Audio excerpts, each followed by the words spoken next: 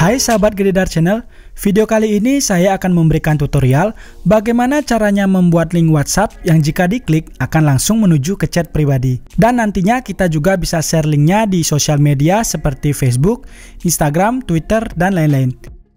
Contohnya seperti ini, sebuah link WhatsApp sudah saya sematkan di bio Instagram saya, dan jika kita ngeklik linknya, nanti akan langsung ke chat pribadi WhatsApp tersebut, dan dilengkapi dengan pesan seperti Hai, saya mau order. Nah, bagaimana cara membuat linknya? Sebelum memulai tutorialnya, buat kalian yang baru pertama kali ke channel ini, dukung channel ini dengan mengklik tombol subscribe dan loncengnya, siapa tahu ada video-video yang bermanfaat buat kalian.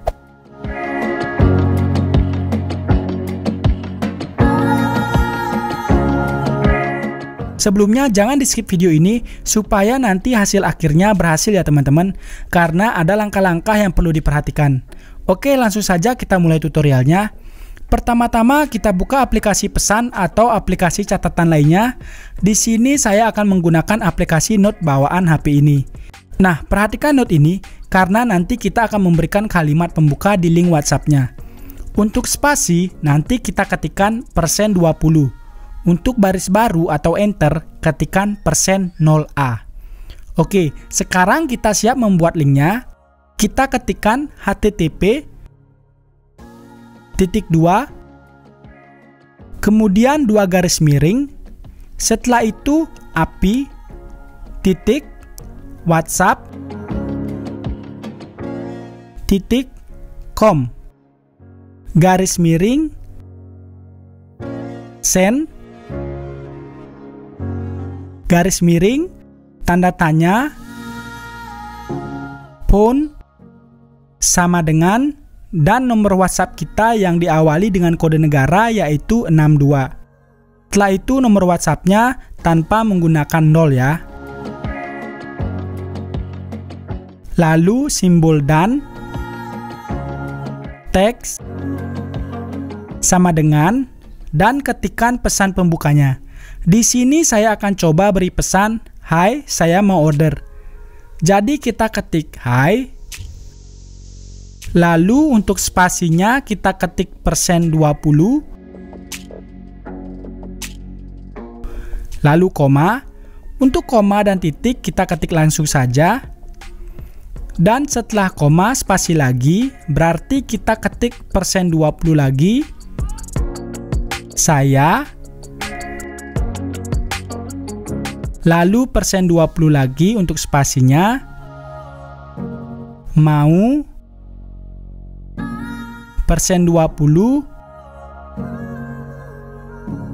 order. Titik. Nah, jika kalian ingin menambahkan baris di bawahnya, kalian ketikkan persen 0A. Oke, sekarang link WhatsApp-nya sudah selesai, tapi jika kita copy link ini, pasti akan kepanjangan kan? Nah, bagaimana caranya membuat link yang panjang ini supaya kelihatan pendek seperti ini? Caranya kita copy terlebih dahulu, Kemudian kita buka aplikasi browser apa saja dan pada kolom URL ketikkan bit.ly.com.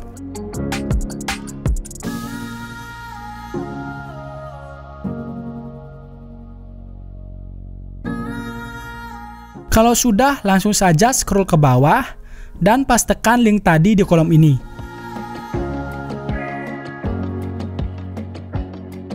Setelah itu, klik shorten dan bisa dilihat linknya menjadi pendek seperti ini.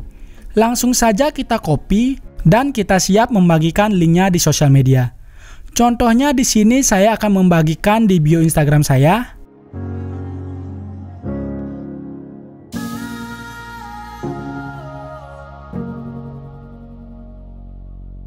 Nah, langsung saja kita coba klik link WhatsApp-nya dan bisa dilihat kita langsung dibawa ke chat WhatsApp-nya dengan pesan, Hai, saya mau order.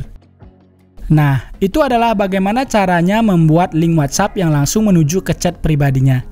Semoga video ini bisa bermanfaat, like dan subscribe jika kalian menyukai video ini, dan jika ada pertanyaan silahkan tinggalkan di kolom komentar.